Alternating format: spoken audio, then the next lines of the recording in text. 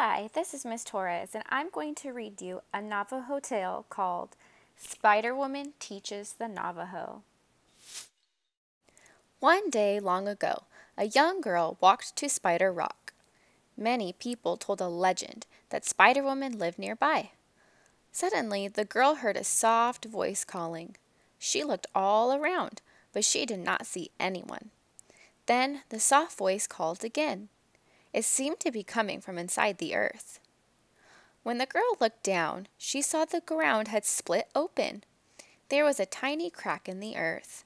She was curious, so she peeked into the crack. Below the crack, the girl saw a small room. There were rugs hanging on the walls. The rugs were woven with wonderful bright colors and had beautiful designs. What beautiful rugs! Exclaimed the girl as she looked down into the room. Spider Woman looked up at the girl. Come in, child, she said. Suddenly the girl found herself in Spider Woman's room. Can I learn to weave rugs like these? asked the girl. Will you teach me how to create them?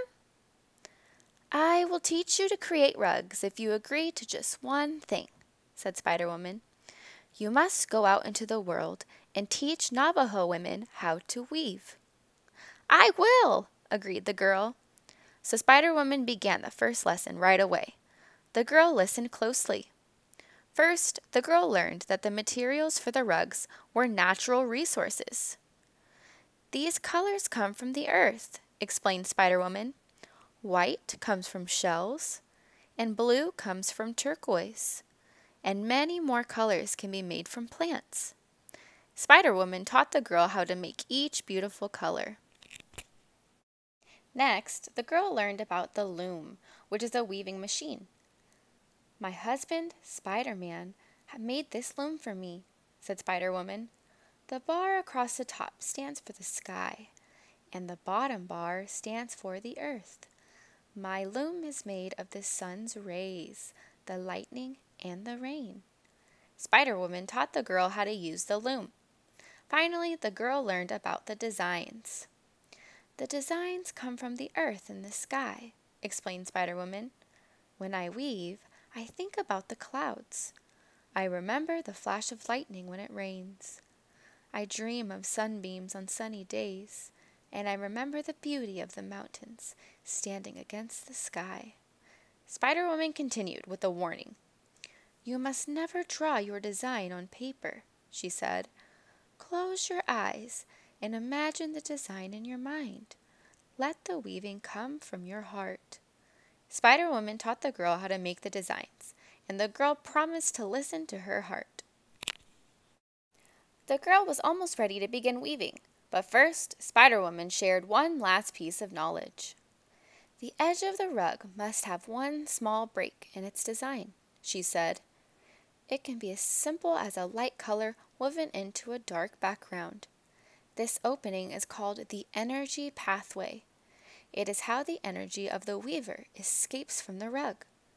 If you do not leave the opening, your energy will be trapped inside the rug. You will not be able to create any more beautiful rugs.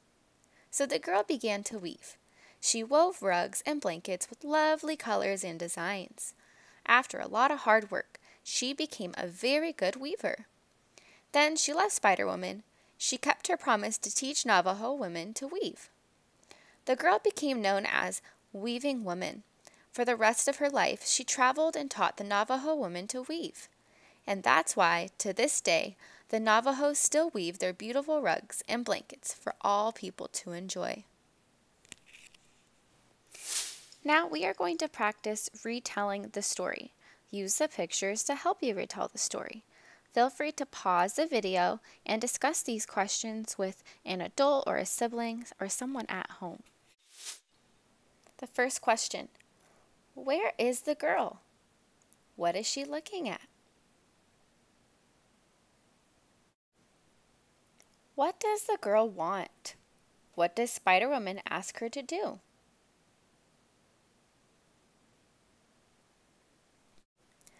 What does Spider Woman teach the girl about the loom? What does the girl learn about designs? Lastly, what does the girl do when she leaves Spider Woman? What does this story tell about Navajo people today?